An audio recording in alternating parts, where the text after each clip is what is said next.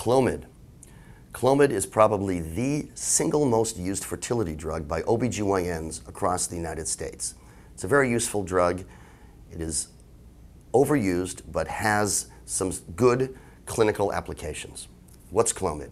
Clomid is a selective estrogen receptor modulator, SERM. That is the class of drugs that includes drugs such as tamoxifen, which is used in breast cancer.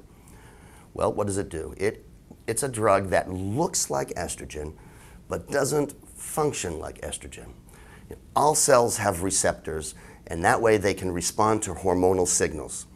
So there are cells in your pituitary gland, which is a gland that's up behind your nose. And that pituitary gland is responsible for stimulating your ovaries.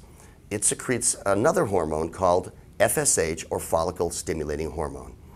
Now, the pituitary starts to secrete follicle stimulating hormone, and your ovaries start to respond with eggs, and the estrogen starts to climb, and then the pituitary uh, sees that response, the estrogen binds to the receptors on the pituitary, and then there's what we call downregulation, and the levels of FSH start to drop. What Clomid does is it binds to the receptor. It's sort of, it's like taking a key that's the same manufacturer as the key to your house, but not the right key. So it fits into the lock, but it doesn't turn.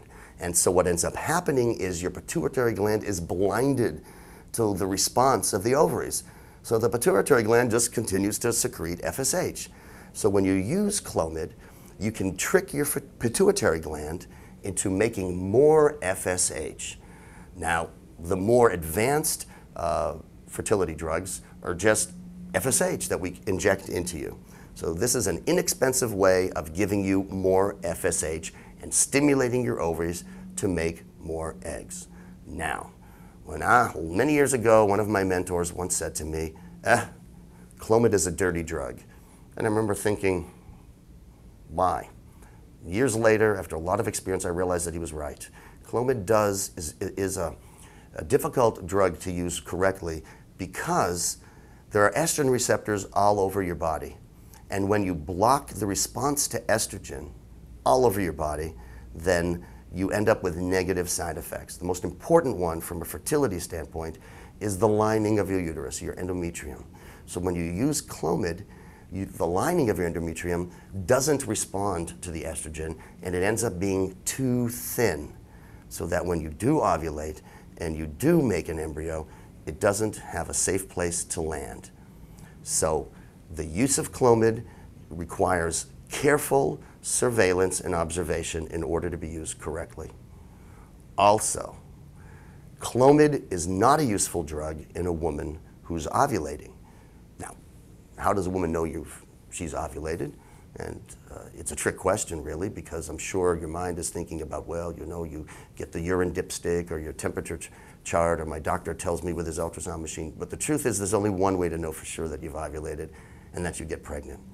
But if a woman has regular periods and feels occasionally the twinges of ovulation, and there are other factors, maybe progesterone levels later in the pregnancy, and, and the temperature, and the dip, uh, urine, all that information is there, and we presume that the woman is ovulating, guess what?